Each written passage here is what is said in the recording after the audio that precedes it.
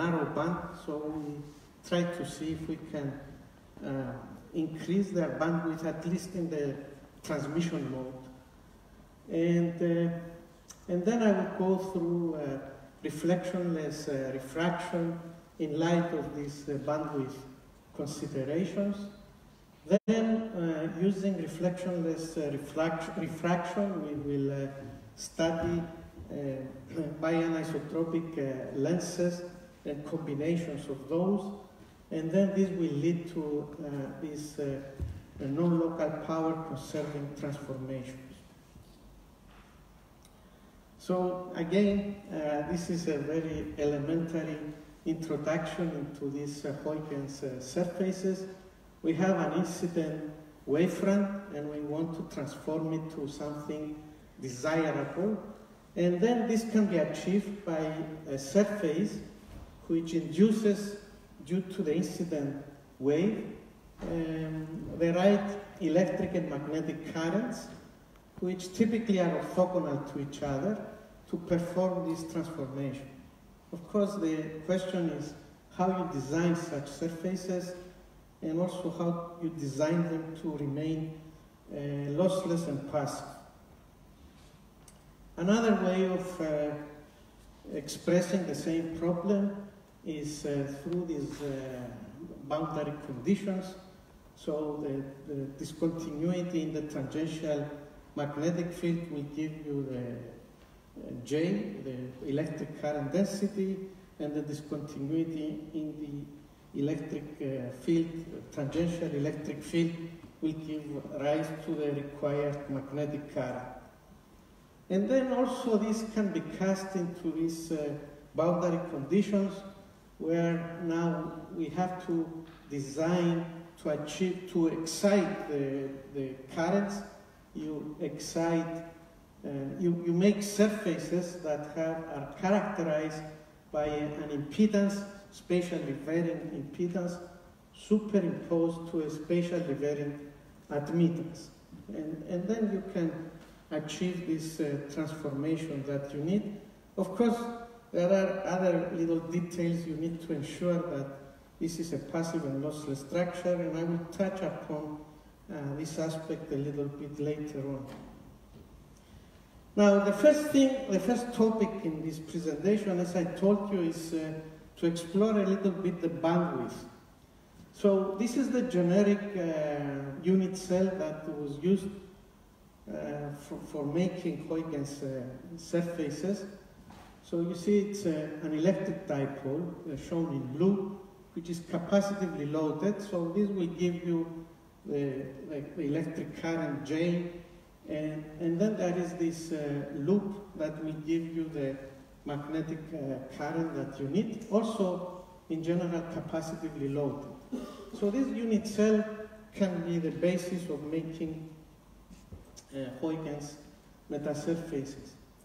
Now, back in uh, uh 2013, we realized, actually with Michael Selvanayagam, that uh, the uh, field discontinuity equations that I showed you previously have a one-to-one -one correspondence uh, to the voltage current relationship uh, of this so-called lattice unit cell.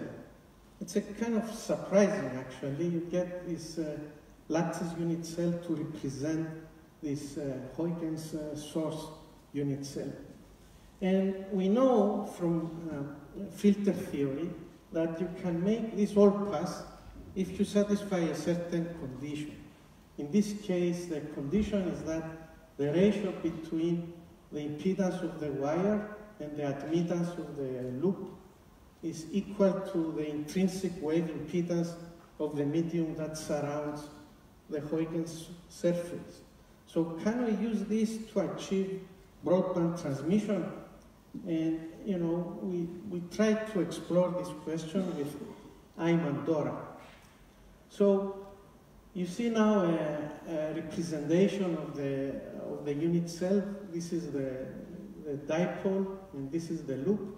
And you see they are complementary to each other, so it's quite natural to achieve this balancing condition. And then you see that uh, when we tune properly the dimensions, we can get uh, broadband transmission between uh, two dielectric regions. In this example, having a relative permittivity of 20, and you see that we can get uh, like transmission. This is the transmission coefficient, this blue line, from 1 to 25 gigahertz. So of course, this is not very useful, you know, it's like you go from one medium to another. It would be more useful if we have two different dielectric media and achieve some broadband matching. So this brings me to the uh, next topic, which is these bianisotropic Huygens surfaces. And so now you allow one more degree of freedom. you allow the coupling between the electric and the magnetic currents through this uh, coupling coefficient K shown here. And then with this uh, additional degree of freedom, uh, we have shown in the past that you can get things like reflectionless refraction, and it will enable this kind of uh, matching that I just uh, mentioned as well. But the question is whether we can achieve these things with this wire loop topology. So I will tell you a little bit, uh, again, a little bit of uh, background about these bianisotropic uh, uh Huygens uh, surfaces. So here you see the non-bianisotropic version of a unit cell that has been used also for making Huygens surfaces. Tony Grbic in the morning showed this very well with the three layers. So we have these three bone uh, layers, and uh, how this uh, works is equivalent to the wire loop unit cell. So if you have a magnetic field H, it will induce a circulating current between the top and the bottom red uh, layers, these red uh, dog bones, and it will induce a magnetic dipole moment. Now the electric field will uh, in interact with the intermediate capacitive dipole and will give rise to an orthogonal uh, electric uh, current. Now, how can we get bianisotropy? And what kind of bianisotropy I am talking about here? So you see there is this omega particle that naturally induces orthogonal electric and magnetic uh, dipole moments which are coupled. So this, is, this was well known, but we realized that actually you can achieve the same effect by just making your unit cell asymmetric.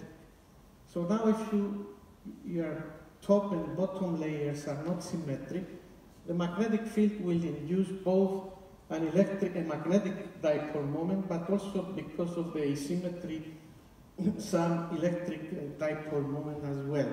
Likewise, for the electric field will induce this uh, orthogonal electric and magnetic dipole moments. So this is uh, this so-called omega bianisotropy. So when I say bianisotropic, I mean this omega bianisotropy. But the key point here is that you break the symmetry and then you achieve this omega bianisotropy.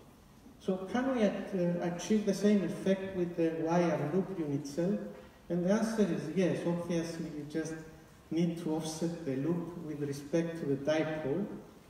And then uh, you can get a bianisotropic unit cell, and the corresponding lattice unit cell can be modified now with a, an, a, an, ideal transformer having this uh, K uh, coupling ratio is the turns ratio. And then we couple, of course, the, uh, the, the loop and the dipole in this circuit. Now, we have worked out with uh, Ayman the new balancing condition, and now the ratio of Z to Y should be equal to the product of the two wave impedances. Now we have two different regions. And uh, when we, we do that, we can actually get uh, broadband matching between two dielectric uh, media. For example, here epsilon r uh, 135 to 10, and we get good transmission from 1 to 21 gigahertz. So very broadband matching, if you like. It's a method of broadband matching. So of course this is for normal incidents. Now in the past, as I said, we have looked at uh, reflectionless refraction with these bianisotropic uh, unit cells. And uh, this is the example here where we go from normal incidence to, I, I believe, 72 degrees. And uh, uh, we did this experiment uh, with these uh, uh, asymmetric dog bone unit cells. So this is the surface. We have a, this is at 20 gigahertz, so it's a quasi-optical millimeter wave setup. So you shine the surface with a normal incident Gaussian beam, and you look at the reflect, uh, reflections. So this is the reflections you see at the right frequency. There is minimum uh, reflections. Now, what happens uh, to the transmitted uh, spectrum?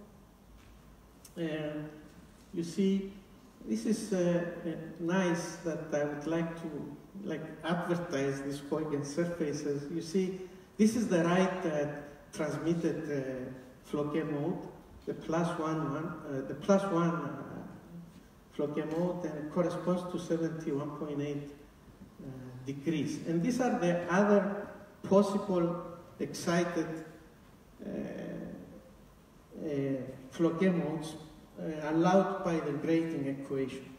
And you see, when you are at the wrong frequency, the red one, you, you excite them. But when you hit this uh, nice frequency where the conditions of the uh, bianisotropy are met, uh, you see the, with blue all these higher order Floquet modes, the reflections, the transmission to uh, minus 71.8 degrees and so on are suppressed. So uh, you can control very precisely your uh, Floquet modes with these Huygens surfaces. Now, Michael Chen uh, designed uh, one of these uh, Huygens reflectionless uh, surfaces, but using this new unit cell. So you see the wire loop one now. So we have 10 uh, cells per period, again at the same frequency, and he got very nice uh, full wave simulation results, no, not much reflection here. And you see that uh, you have good transmission and suppression of the, of the other Floquet modes. And maybe what is interesting is to compare this design with the one with the three dog bones. And you see you can get quite uh, much more bandwidth compared to the dog bone structure. And mind you that this was not really optimized to satisfy in all unit cells this balancing condition. So I believe there is much more uh, room for improvement here. Okay, now we have this, you know, bianisotropic uh, reflectionless refraction. What can you do with that? So you can make lenses and combination of lenses. And this was something that we started over a year ago with Gleb, Gleb Egorov. We had an industrial project that they asked us to increase the directivity of a moderately directive antenna array. So we thought of using lenses for this, and we tried to sell this aspect that these lenses are reflectionless. So we set uh, to make uh, lenses, and uh, here we made a diverging uh, lens, and I will tell you why. And uh, so we used the fields of, uh, this is for two dimensions, so these are the fields from a line source here, represented by these Hankel functions. And then on the other side, ideally for a lens, we want the plane wave, right? But this is where a subtle point comes, you know. I think that uh, Tony and Ariel before explained that in order to ensure that these surfaces are uh, lossless and passive, you need to make sure that the local normal power is conserved, which means you cannot have really a plane wave here, because uh, you will conserve the local power. Uh, so, but you, you will have a modulated uh, plane wave, and you know what it is because you know it's a flat face, and you know the amplitude. It has to match the amplitude of this cylindrical wave. So Gleb designed such a lens, and okay, we have a design project process that uh, was developed when uh, Ariel uh, Epstein was with us to uh, design these surfaces.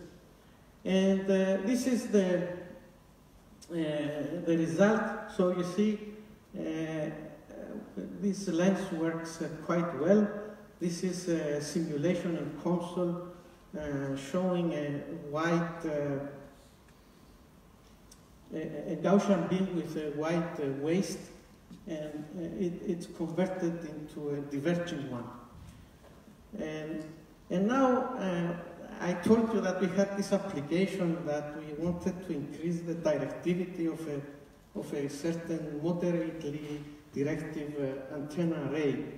And the solution that we proposed was actually to use a beam expander as shown here.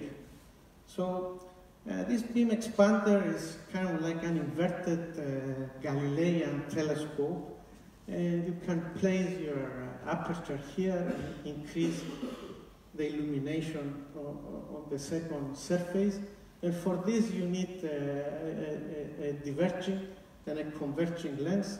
That's why we had I showed you earlier a, a, diverging uh, lens. And this works uh, quite well. You see we have, a, again, a, Gaussian beam that uh, is expanded very well. And uh, if you put a, an antenna array here, you can increase the directivity quite a bit. Now, this uh, project uh, uh, prompted us to um, go back and look at this uh, difficulty that we had before. I told you that we couldn't design a, a lens that will match here a plane wave because the power should be locally conserved. But when you look at this diagram here, you understand that the, there is a solution to the local power conservation because you know, you take these uh, uh, fields, you expand them, and now this transformation from the input to the output to Gaussian beams, uh, if you go vertically, the power is not locally conserved. So I guess we, uh, Ayman Dorrah uh, actually look into this problem. And now you will, uh, there is some connection with what Tony Grbic showed earlier in the morning. So but our motivation at the time was, you know, I have now, I want to make a, a, a transformation between a cylindrical wave and a plane wave. So, uh, so this, uh, the power is not locally conserved. So how can we do that? Well, we can take this beam expander solution and generalize it a little bit. So you can have now these two bianisotropic uh, surfaces and allow uh, a, a, spectrum of plane waves in between them and then you can find the amplitudes of each plane wave that will enable this transformation between an incident wave and a transmitted wave, in this case a cylindrical wave and a truncated plane wave. Now we did similar things in the past with Ariel, but there we had uh, uh, the cavity and all these modes uh, were, were cavity modes and there was only a single surface on top and we could use this for antenna beamforming. But here we wanted to do this lens transformation so this uh, makes more, more sense. So Ayman uh, look at this problem. We have uh, the expansion in terms of plane waves here. I think he found the power in terms of these plane waves and we allowed all the incident reflected and even evanescent waves. And then uh, he used uh, least square optimization to actually uh, um, um, design these surfaces. You know, I don't have time to go through all of this, but this is uh, one uh, result that we got. So we have the incident uh, cylindrical wave. The, the, the, solid is the, is the incident field. The solid uh, line, uh, this blue line. The solid uh, yellow line is the desired output field, which in this case should be a, a constant. We want the plane wave. And the dotted lines is through the optimization trying to approximate these uh, power profiles. And you see you can approximate it quite well with this dotted line here. So M2 is the, is the power profile after the second uh, surface. And this is the corresponding uh, spectrum that uh, is needed here, uh, sorry, the weights of the plane waves we only had to use uh, propagating plane waves here. That's what came out of this optimization. And I believe the reason is because the distance between the two surfaces is, is moderate. It's 1.5 wavelengths. I guess if you keep bringing the surfaces closer and closer together, you will need reflections and even maybe evanescent waves. So this is a, a result that uh, Ayman got. This is the source very close to the first uh, surface and how it's transformed to a truncated uh, plane wave. Uh, this was a full wave COMSOL simulation. And I guess this relates to what uh, Tony Grbic showed earlier. In fact, uh, we cite here a paper from his group that he presented uh, some of these uh, last uh, month at AP at the AP conference, and we have a paper that is already on IEEE Xplore to be published in IEEE antennas and wireless propagation letters. So I guess I am uh, I am done. So Uh, this is a summary of uh, what I showed you. Uh, I guess we talk about the bandwidth aspects. One aspect, you know, the transmission of these normal Huygens and bianisotropic Huygens surfaces. And we showed that you can get really more bandwidth, at least in transmission, for applications such as reflectionless refra refraction. Then I discussed bianisotropic uh, uh, lenses and combinations of those. And uh, I finished with uh, these non-local power conserving transformations. So uh, thank you for your attention. I'll be happy to answer questions?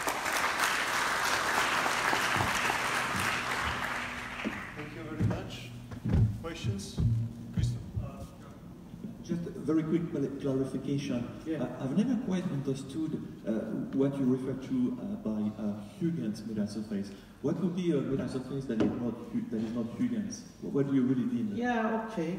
Uh, so Huygens had a uh, this treatise on light that he tried to explain how refraction and uh, even reflection uh, can be explained in terms of wavelets uh, that uh, emanate uh, cylindrical waves.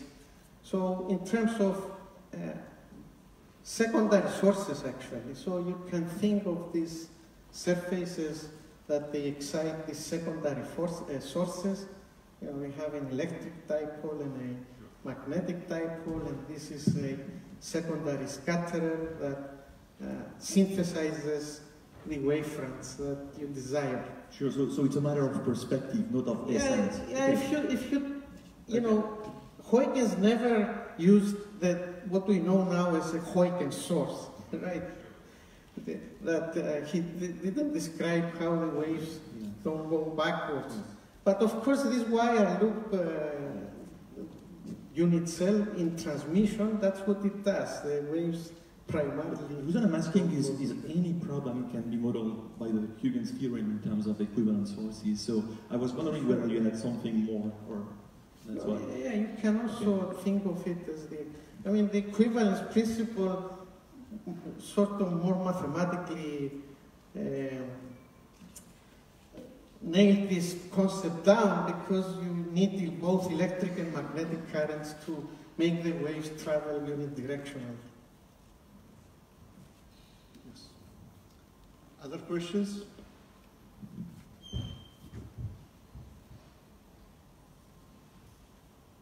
No? Okay, so thank you very much. Thank you. perfectly time. Uh, the next speaker is entitled Multiscale Modeling of Electrically Large Waveguide Metasurface Aperture Using a Couple Approach and uh, the paper will be presented by Dave Smith.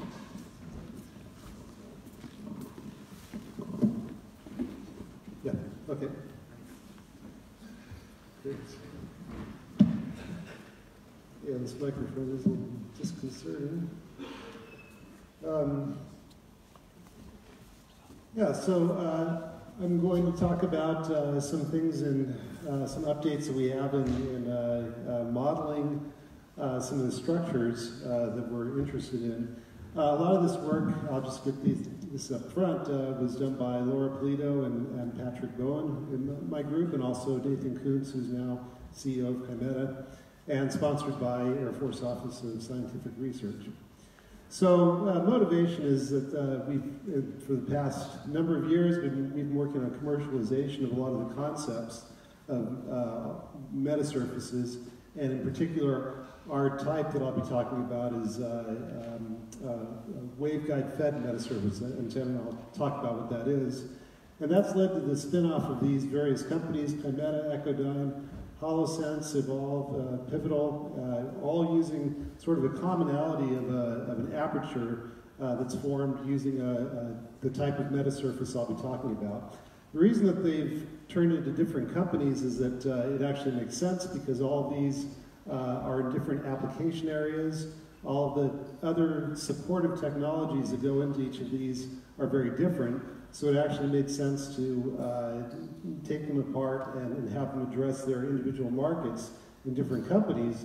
But uh, there's certainly a commonality on the aperture, uh, and we are constantly thinking about how to model that better and, and uh, uh, uh, what more types of functionality we can bring in and how to make that more apparent from a design point of view. So there's more to come, uh, but uh, just a couple pictures. Uh, since Kymeta is now shipping products, you can actually see these Kymeta antennas uh, uh, beginning to show up uh, in maritime and in other application areas. these are fairly large apertures, so they tend to be 40 wavelengths or so. These are for satellite communications. Um, the, the, they're replacing actually even larger structures, but they're still very large and uh, if one were to try to simulate uh, this using, uh, for example, finite element or finite difference, it would take a very long time if you could even do it. Um, so uh, certainly one would like to be able to simulate these more efficiently. And also, uh, I'm going to show this because now Echodyne has started shipping products. Uh, there's a few different types, Echo Flight, Echo Guard, Echo Drive.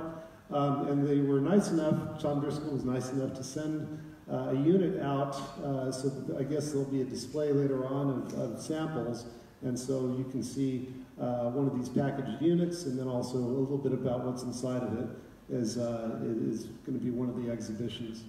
So uh, these are coming out, and that's the inspiration for what I'm going to be talking about, is, is what these actually are, and then ways of, of uh, looking at them that makes it efficient to, in terms of a design process. So starting from the basics, uh, you can imagine if you have something like a waveguide, there's many types of waveguides. You have parallel plate waveguides, uh, rectangular waveguides, or something like a microstrip. Uh, you know if you uh, feed this on one end, you will create a wave that goes down uh, and is confined uh, to within the region between the two conductors from a feed to a termination. Uh, so the anatomy is you have a waveguide, which is just the substrate here, a ground plane, and then you have the upper conductor. If you now uh, put something in that upper conductor, uh, like an iris, or in this case, a CELC, uh, complementary metamaterial element, uh, that's a discontinuity, uh, which will certainly create a, uh, some sort of impedance mismatch, so you'll get a reflected wave and a transmitted wave. But also, this will leak energy out, so it radiates. So this is the basis of how you might make an antenna. Um, what is nice is if uh, you can describe that as simply as possible, and because we're thinking of metasurfaces, each element being much, much smaller than the wavelength, uh, the idea is that you could replace that uh, in all of its detail just with a, uh, a polarizable point dipole. So uh, if in fact that's true, then you have a, a dipole that gets created uh, that is some polarizability times uh, your incident magnetic field. I use magnetic uh, because you want this thing to radiate. If you had an electric dipole here, which you could do, it wouldn't radiate that well. Uh, so really you'd like these to be dominated by magnetic uh, dipoles. And so in the end, it's just some magnitude and phase of this polarizability times your feed wave. And this thing radiates, and if that's true, you know how a dipole radiates. It's a very simple expression, and uh, your de design or characterization of the structure becomes very simple. So uh, we know how it radiates. Dipole radiation is simple to calculate. Uh, and so if uh, it's also maybe less simple, but certainly a straightforward thing to do to figure out how a dipole will radiate back into the waveguide because you have to figure that out too. Uh, all of those things are important. So if you have a wave coming in uh, that's incident on this region here where this discontinuity is, this is just showing some, some plane in there, it's not real. Uh, it will scatter, not only will it radiate, but it'll scatter inside.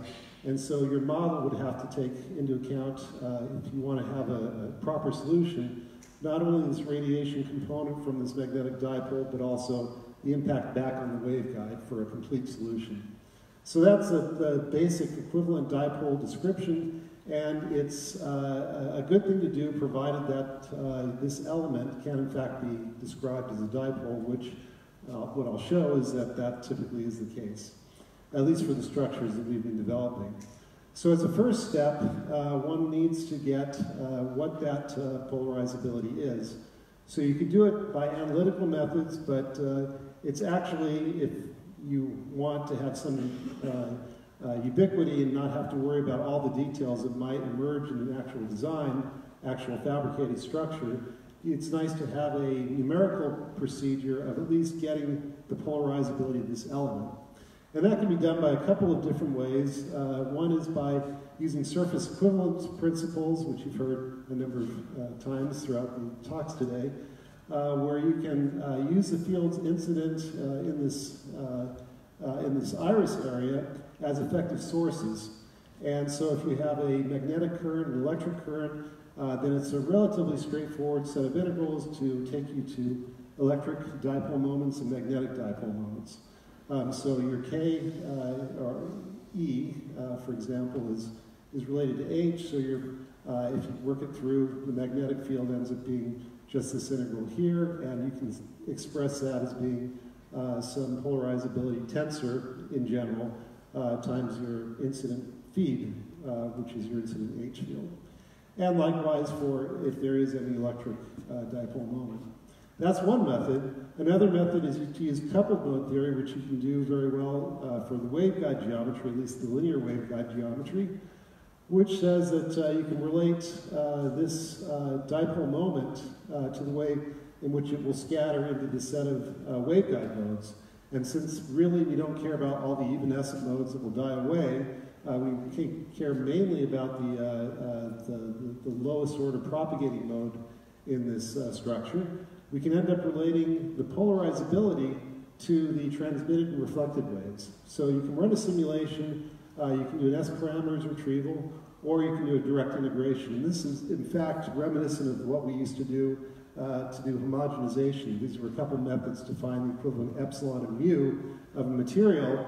Here we're using it to find uh, something that's a little bit more palatable, uh, the, the, actual uh, polarizability. So it's a discrete model but it's a very physics-based model. So we can find the polarizabilities of these elements using one of these two methods.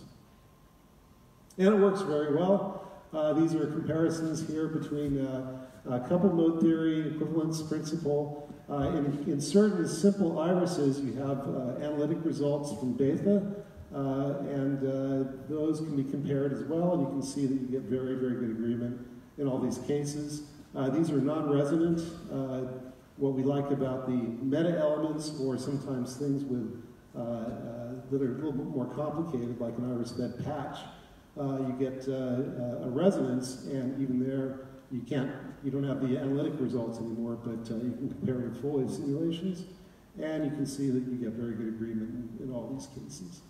So uh, you have an approach now, and it's not a very large domain that you have to simulate, whereby you can get the effective dipole moment of your iris or your metamaterial element or whatever you have uh, using one of these methods. So that's sort of a step one of, of working towards a multi-scale uh, modeling method. So, having found this, uh, we find the polarizability. It's an easy step uh, to go forward and say, now I want uh, to create an antenna out of this. And instead of having all these uh, uh, pieces that I have to deal with, I've now learned that I can just replace these by dipoles. And once again, that's a very, very simple thing to work with and, and work into a, a larger scale modeling approach. So, to take a step and just talk about uh, uh, what the, this antenna is and how it works, uh, like I said, you have a feed wave, which is where you're, you're bringing this phase in. It propagates along here and feeds all these dipole elements, each of which radiates. Uh, for this moment, I won't worry about radiation back into the waveguide. I'll just worry about how they radiate outwards. Uh, each one of these has a far field uh, radiation. Each dipole has this radiation is just found by writing down the, the expression for a dipole. Um, each uh, dipole has a moment that's given by its polarizability. And if you put all this together, you end up with the radiation from each element. And then you can take this and sum it over all of the dipoles in your antenna. Uh, and if we just worry about the angular dependence, we get an expression like this, which is the equivalent of an array factor, except for a metasurface or a waveguide fed metasurface antenna. And that's uh, what we have here. Um, I can't go through all the design details of, of how you choose these weights, uh, but in the end, we want to choose these polarizabilities to get whatever output wave that we want to have. And we have a whole set of design procedures uh, for doing this and, and, holographic approaches. For now, I'll just keep it simple and say uh, we can just choose the polarizabilities to get uh, certain things that we want. So for an example, oh, what I should say, or what's very important, uh, for the metasurface antennas that I'll be talking about is the fact that these polarizabilities are constrained by physics. So they're constrained by real world physics, which means that each has a, a Lorentzian type resonance. And that resonance uh, ties together the phase and the amplitude uh, of, of, the resonator. So you don't have arbitrary phase and amplitude control in this particular structure. Uh, you have, if you just have one resonator, uh, something that uh, is is, related to this equation here, uh, which can be re-expressed so, so, that you can see that the uh, amplitude is related to the cosine of the, of, of, the phase. So you, that's an expression of this resonance curve here, where the phase varies as a function of the, of the amplitude, uh, or vice versa, and you um, don't have freedom to, to just get anything. So if you're unconstrained, uh, if you were to plot this polarizability in real imaginary, uh, you could have any phase that you wanted, which is uh, represented by going around the circle, and any amplitude you wanted.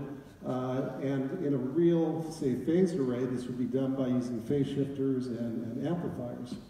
Uh, for us, we're constrained to sit on the circle here, and I'll just give an apology. I switched my convention here. I'm using I instead of J just for this slide because I like it better. Um, but anyway, so normally if I was using J, this would be in the lower half plane. Doesn't really change things, uh, but I just happen to like it better.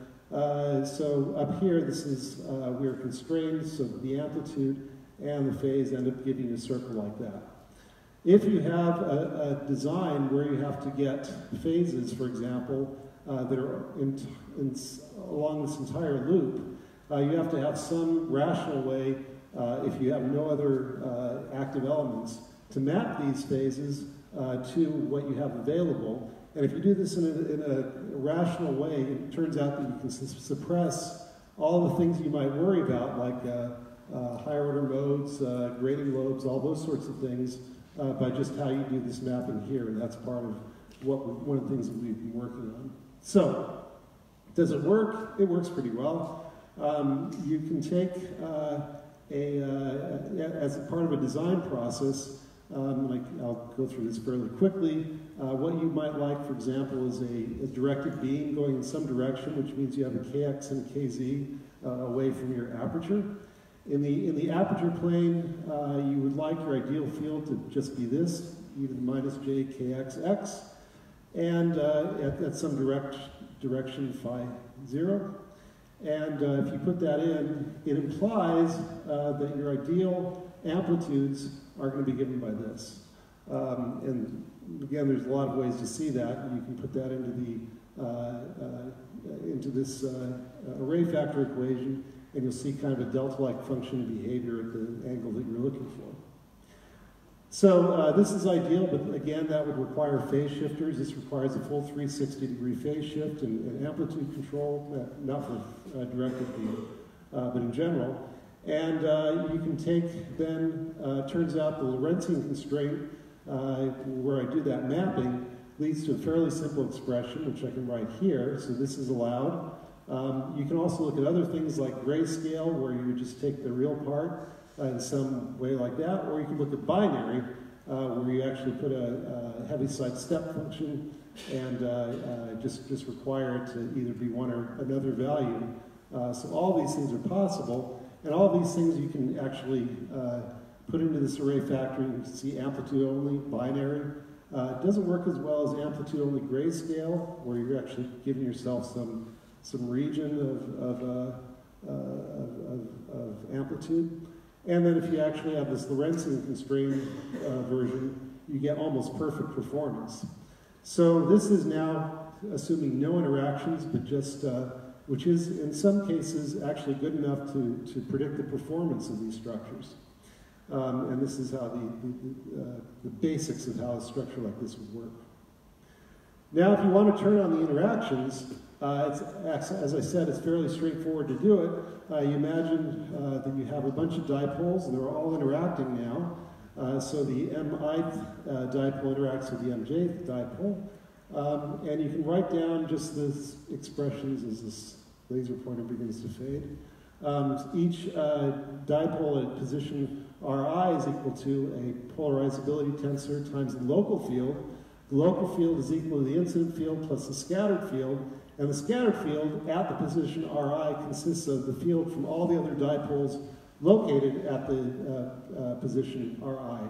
So we write this as a Green's function, so we can write this equation here, and then substituting back in this first equation, uh, we end up with a matrix equation, which now takes into account all the interactions between all these dipoles. And again, you can easily write down the Green's function for free space. It looks like that. And so this accounts for all the interactions between all the dipoles and is now just a matrix equation given by the uh, uh, dimension of the number of, of, dipoles that we have, which is not too hard to, to solve. Uh, in this framework, we can uh, actually have methods of accelerating it. You can take another step. Obviously, you have to worry about the free space interactions, but you also have to worry about the interactions from the waveguide. And there, it requires you to add another term, and this other term now uh, might look something like this. And this is overcomplicated because, again, we really don't need all the higher order modes that uh, don't propagate from one point to the other. We just need the, uh, the lowest order one, and that means usually one term of this. So we can account both for interactions through the waveguide and uh, through free space. And now this gives us a complete description of, of an antenna structure. And uh, this was done, uh, in this case we did it for a leaky waveguide. This is work that Laura did early on to show uh, how well it uh, could work. And you can see uh, some comparisons here. and I won't go through in detail on the comparisons, but you can see that uh, CST simulations, full wave simulations agreed with this uh, coupled dipole approach. And so it really does give a very accurate uh, characterization Um, it works with full wave simulation, but the fact that you can do it with this coupled dipole means you can do much, much larger structures, and it's useful for really most waveguide fed geometries. Just another example, uh, uh, uh, larger structures, different types of irises, um, all these can be uh, uh, simulated. And at some point, you begin, the agreement is so good that we really don't know which one's off, whether it's CST, which is not always dead on, or HFSS, which sometimes these programs disagree with each other, but we're sort of in the noise in, in terms of that level of modeling. Now, uh, we're interested in more complicated structures, and one of the things that we're interested in modeling, for example, is this uh, uh, dynamic structure. So when I showed the first slide of the, the companies, these are all dynamic uh, antennas, and so the uh, geometry is more complicated. I'm showing you something that was done in our lab. Uh, when you want to add dynamic reconfigurability, you have to put something there that will change the properties dynamically. In this case, we're using uh, diodes, so we're actually switching between a couple of values. And once you put in those diodes or those active elements, you need to actually create uh, uh, bias circuits. So in this case, we've got vias that go from uh, the center of this ELC, for example, CELC, down to some bias circuit in the bottom, and it becomes a, multi-layer uh, circuit board process, and there's just more components involved. Um, so your design has to uh, provide isolation, for example, between bias and RF lines, which is why you see this uh, uh, interesting design down there, this flare, which is a choke uh, for, so the RF doesn't couple to the bias line. Anyway, all this ultimately needs to be taken care of in, in a, a more extensive analysis. Uh, I just wanted to take a couple slides to show uh, an example of this. Uh, this is something we've done in our lab. It's a very poor, uh, it's, it's, definitely not a commercial level thing, but it's a, it's a bunch of uh, uh, elements like this. they're dynamic. each one has a, a, set of diodes that can be turned on and off. These resonances can either be on or off. Happens to have two frequencies. This was used for imaging, so we weren't really trying to design the modes in this case. Uh, but it's the kind of structure that we'd like to be able to uh, uh simulate eventually. So this is showing uh, uh, just how this would work. Um, since we couldn't do the, at the time, the, the, the, the, the coupled dipole approach to model this, what we've done is actually measure the structure and uh, we, we map the fields in uh, a plane using a near field scanner and then from that we can uh, we can backpropagate to the aperture plane, which you're seeing here, and these are effective dipoles. You see them lighting up. And once we extract these effective dipoles from uh, uh, the data, then we can propagate them forward and know the fields everywhere, which we use for some of our imaging experiments. And while this wasn't uh, designed for, for beam steering, in fact, we can find conditions where we, we can uh, create uh, a very clear angle versus uh, uh, set of voltages. Um, so, and you can get essentially steering across some, some reasonably large angular region. So uh, this is showing uh, that same data, but now we've selected the ones that actually give us steering, uh, just to show that we can do types of imaging scenarios that we were interested in. some of these have to do with synthetic aperture types of imaging, and so there's a few different modes. Uh, for example, strip light, spotlight, and, and other types. And uh, this is just showing that you can actually take these and, and do imaging. These are just some results from our lab uh, where we've taken that aperture. Uh, we are required uh, for to, to actually do a reconstruction like this to know what those fields are in detail, so we have to understand what the dipoles are and propagate them. So uh, I just wanted to, to, pause for a moment and talk about the differences in, in architectures. Um, we're talking about this metasurface antenna here, which is uh, uh, uh getting much. Yeah, okay, there it is. Um, which is really a passive architecture. So we're changing, you know, you, you may ask why you're doing this. Uh, we can change and tune these uh, but it's a passive tuning, as opposed to something like a phased array, uh, which would have phase shifters at each radiating node, and uh, each of these phase shifters has to be externally powered. So that's a that's a uh, an active uh, type of uh, array structure. Even worse, if you looked at an electronically scanned antenna, which would have not only phase shifters but also amplifiers uh, at each radiating node. Um, another type, which is a little bit uh, more passive, might be a switched array antenna or a MIMO array, uh, which could be done, but then requires you to have a lot of switchers, switches or a switch network. All of these are possible, but they're a lot more expensive and they consume more power uh, compared to this structure here, which is why this has been an advantageous structure, especially for dynamic steering and things like that. Um, sometimes uh, I get the comment that this is just a phased array. Um, in, in, for people that make these things, phased array has a very specific meaning. It, it means something like this architecture here. Uh, so this is, it turns out, a fairly new, uh, a new approach uh, in terms of commercialization uh, that gives uh, a much lower cost, dynamically steerable antenna, and it turns out with about as good performance as, as some of these other types of more well-established structures. So uh, one last type of antenna that we've been working with uh, for uh, a project that we've done for uh, imaging people for, for security applications is this cavity-backed uh, metasurface antenna. And here it's a little different because it's not just a waveguide, uh, but in fact it's a cavity, and in this particular version, we've created a cavity in, in circuit board using vias, so we have something that confines our radiation and then we've got some apertures through which the, uh, the wave leaks out. And this turns out to give us a much better performance, allows us better aperture efficiency. We can fill the aperture because it's a cavity, and uh, uh, for a lot of the applications we're looking at, this just turns out to be very advantageous. So we would like to be able to model this, uh, and uh, uh, now that requires us to go into a two-dimensional geometry.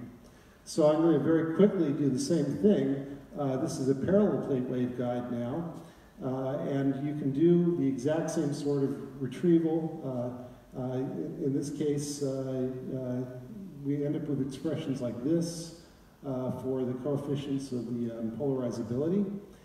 And if we use what we get from this extraction, again, we get very good agreement with, with full wave simulation and, and other types.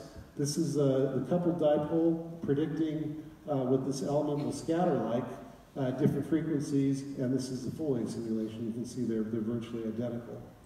So uh, if you start making it more complicated, if you put a bunch of these into a parallel plate waveguide and look at uh, at least the field inside, you can see that uh, if you don't include the interaction, the, the Green's function inside the waveguide, uh, it's a little worse agreement uh, for this sparse array than it is if you include the coupled dipoles. And these are two different designs and you see the same thing. So uh, uh, you can look at uh, this now, uh, actually is kind of instructive. You can see if there's no interactions, uh, this is now the error uh, between the CST simulation and the coupled dipole. And so you get quite a bit of error if you ex exclude all the interactions.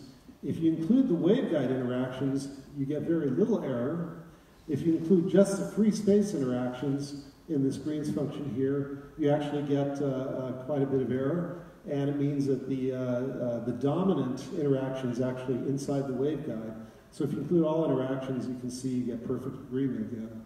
And the far field agrees between the, the two for this multi-slot aperture. And finally, we are really interested also in these uh, uh, vias and those vias can also be put into the uh, dipole approach uh, and, and uh, treated as dipoles. So we can treat all these vias, including the via cage and anything inside, as electric dipole elements, and that's what's uh, been done here. I shouldn't say electric dipole, but I'll say it anyway for now.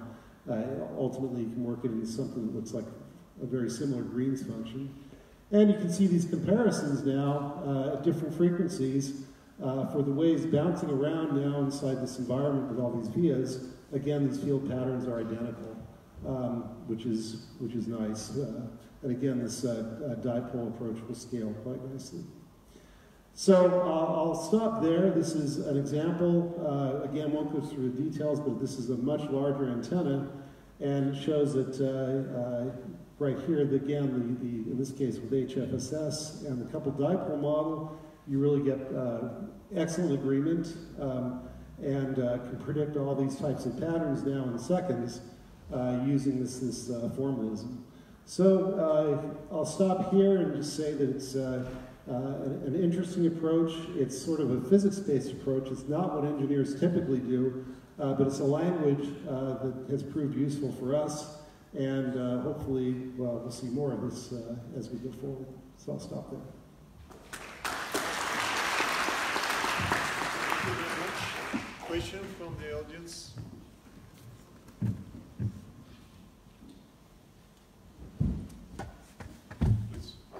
Thank you. Thank you. Actually, this was a very nice uh,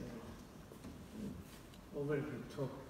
So, I, just a quick question. What's the distance typically between two uh, ECLCs? Is it half wavelength? Uh, it depends on the design, but it's, it's uh, anywhere from lambda over 10 to maybe lambda over 3 or lambda over 2. Okay, the, the actual question that I have is that if, if the spacing is very small, won't you need many diodes per wavelength? Many what? Diodes. Diodes, yeah. Yes, we would. Okay, so. So- Is still seems